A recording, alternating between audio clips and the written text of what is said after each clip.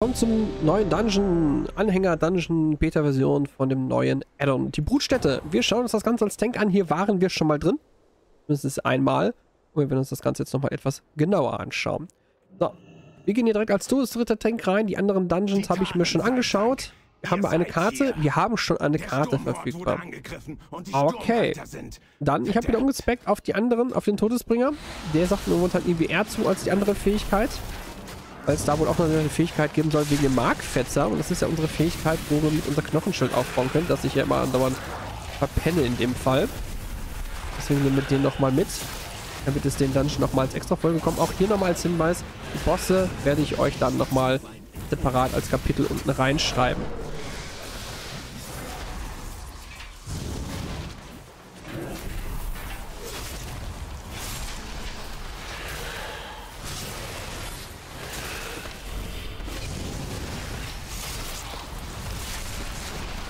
Und dann kommt direkt der nächste Rider mit dabei.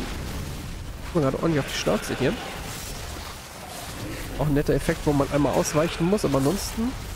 Es kommt mit einem Sturm, das heißt, der müsste relativ zügig eigentlich gekillt werden. In dem Fall. Dann holen wir mal unseren Begleiter mal mit dazu. So, wir ziehen mal ein bisschen hier rüber. Sie verströmt dunkle Magie und eine so, ist er jetzt auch down? Wir die Kugel zerstören? Ja, können wir. Ihr geht zum Horst. Ich lenke sie hier ab. Wir treffen uns später wieder. Die Brutstätte, ja, genau. Da sind die ganzen Hügelchen drin. Wir haben ja schon mal reingeschaut. Da waren auch schon nette Bossfights dabei. Deswegen werden wir uns das Ganze nochmal anschauen. Das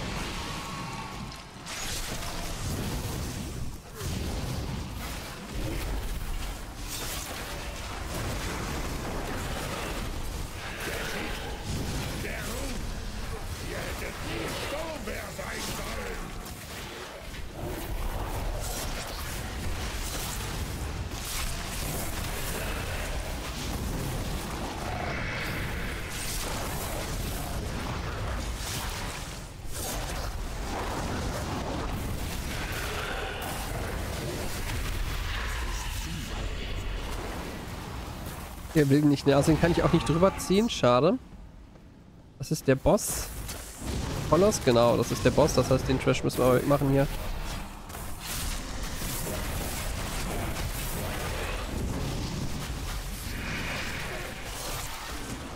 Um aus den ganzen Effekten rausgehen.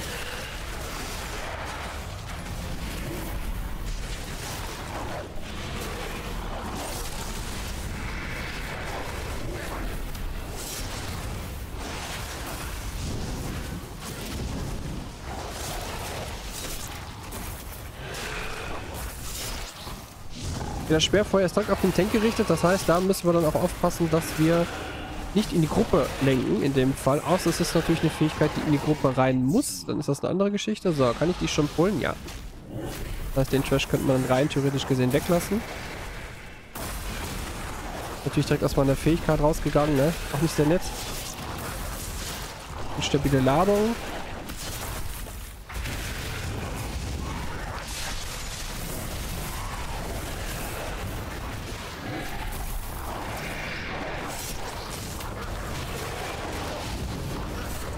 Er müsste normalerweise nachher in die Mitte springen. Da gab es ja auch eine Fähigkeit von ihm, wo er das tat. Blitzspurt, wir gehen mal da raus. Ich sagen, jetzt springt der Hunter da runter. Da liegt der Boss schon im Dreck. Das ging jetzt wesentlich schneller als das erste Mal. So, jetzt müssten wir hier eigentlich runterspringen können, ne? Bekomme ich hier diese schönen Federn. Ich springe jetzt hier einfach mal runter. Also wir gleiten jetzt hier in dem Fall hier runter. Müssen nur aufpassen, dass wir da nicht drankommen. Was ist, wenn ich hier draufklicke? Blitzaufladung. Achso, wir können dann direkt da runterspringen. Okay. Kurz gucken. Wir müssen... Wir haben sogar eine komplette Karte hier drin. Wundervoll. Haben das auch schon reingepackt. Ist ja auch nicht mehr allzu lang hin bis zum Release.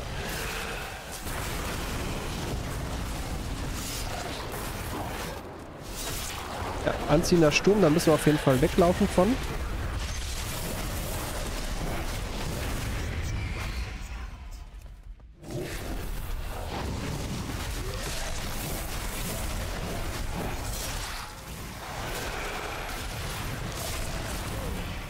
Schöner Flächeneffekt, der da kommt, also auch weg von der Gruppe.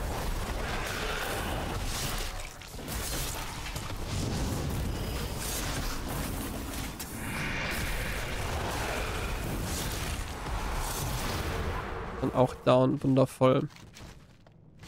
So, da geht's nämlich hoch. Wir mussten aber, glaube ich, unten lang, ne?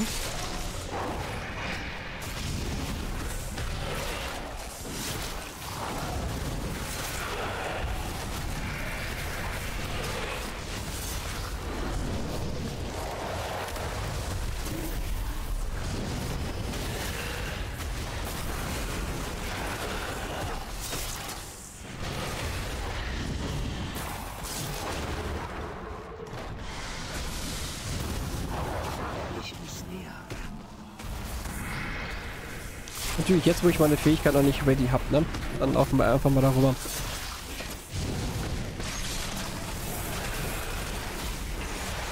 So, da wieder raus. Ganz wichtig. Manchmal klemmt meine Taste an, an, der, an der Maus, weil die unteren Zahlen, die mache ich meistens über die Tasten ab 4. Das mache ich dann über die Maus selber.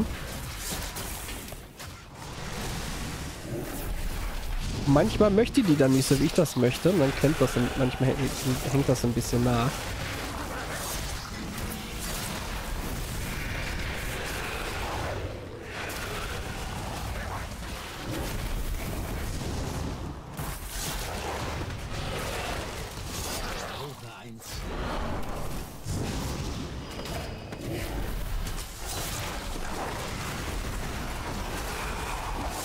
Diese Implosion. Wir gehen mal raus.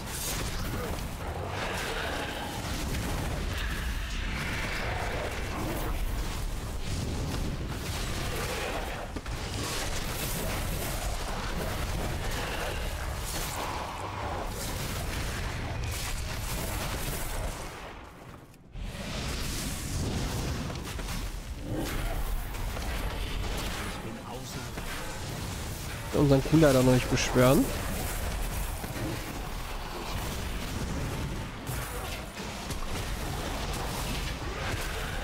Weil für mich ist das halt so ein bisschen irritierend, ne? wenn man mit dem Standard UI die ganze Zeit spielt und das nicht kennt, dass sich das nicht grün färbt. Ne?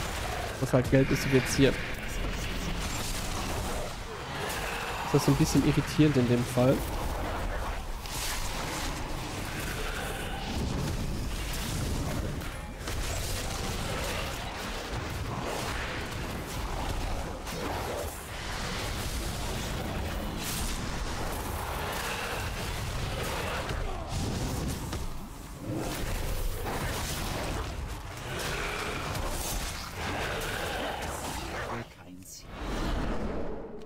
So, und dann geht es einmal nach unten. Da müsste eigentlich auch gleich der nächste, nächste Boss dann auf uns warten. Den können wir ignorieren. Da haben wir ihn. Da ist er.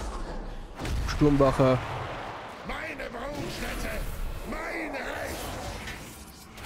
Ja, haben wir den Trash direkt mit dabei gepult. Das heißt, den hätten wir wahrscheinlich vorher noch wegmachen müssen.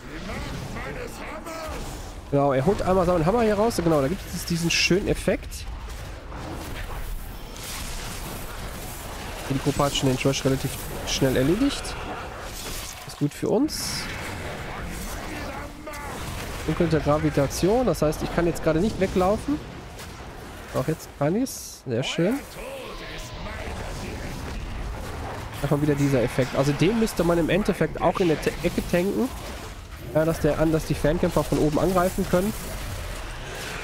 Dass wenn er diesen Effekt macht, dass das halt diese Flächen hier in der Ecke sind. So, dunkelte Gravitation. Also wir laufen wieder weg. Und da ist er schon down. So, dann müssen wir schauen. Wir gehen jetzt hier runter zum nächsten. Müssten wir diesmal richtig sein. Diesmal müssten wir es ja richtig machen.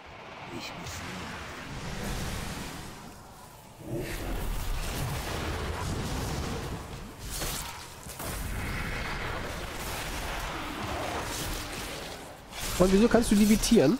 Das ist unfair.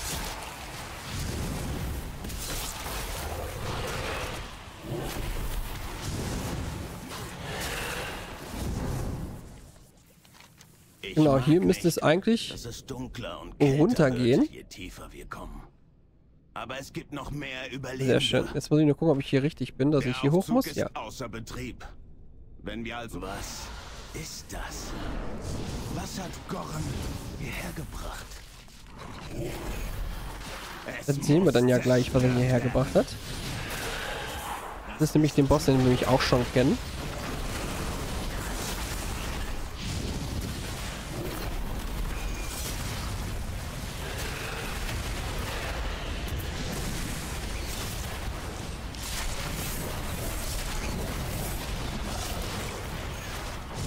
Ja, wir laufen einfach mal weiter, wir nehmen dich mit.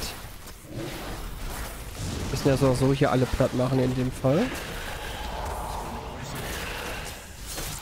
Ja, jetzt die antimagische wollte ich jetzt eigentlich nicht ziehen, aber okay.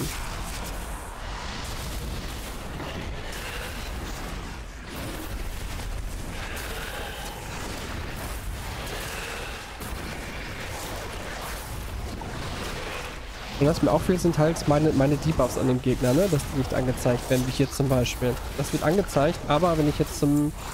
Wenn ich jetzt die hier benutze, die Fähigkeit, wird hier oben zum Beispiel nicht angezeigt. Aber gut, das ist ja jetzt alles Beta-Version, ne? Wenn wir nachher auf den richtigen Server spielen, sieht das so ein bisschen anders aus.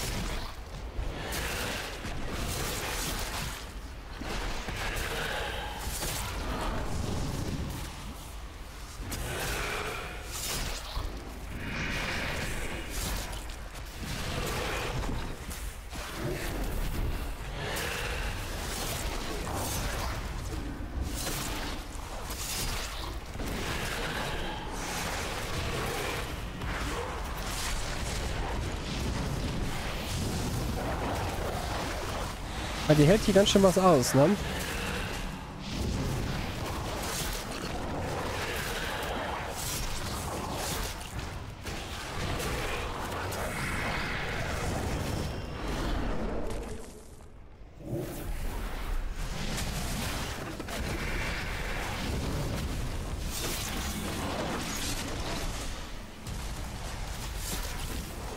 Umarmung der Leere, Wut unterbrochen. Okay, wie haben wir das denn jetzt hinbekommen? Das waren wir nicht, das müsste jemand anders gewesen sein, der es unterbrochen hat.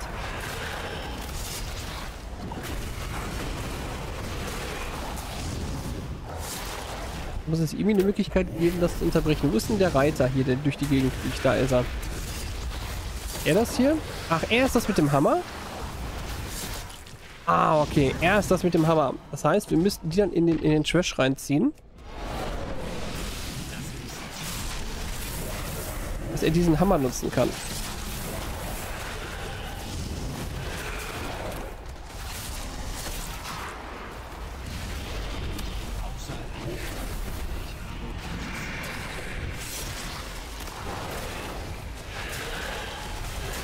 Dann wird er nämlich gestunt.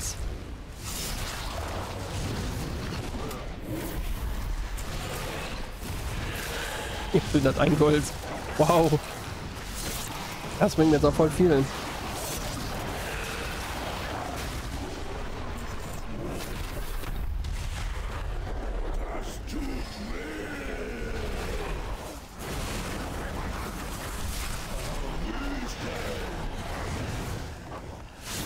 Die Frage, kann die Gruppe dann von der Seite angreifen?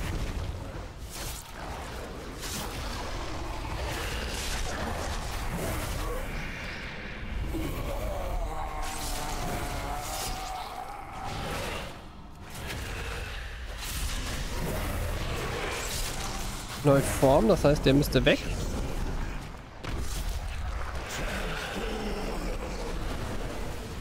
So schnell kannst du ja im Endeffekt gar nicht ausweichen.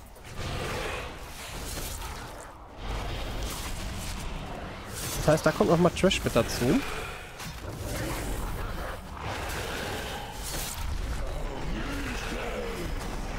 Okay, das heißt, der Angriff geht dann direkt auf den Tank.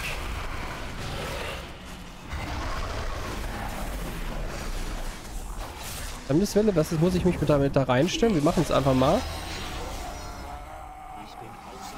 Steigt in einen näheren Klumpen. Neue Formen, das müssen wir dann hier kaputt machen.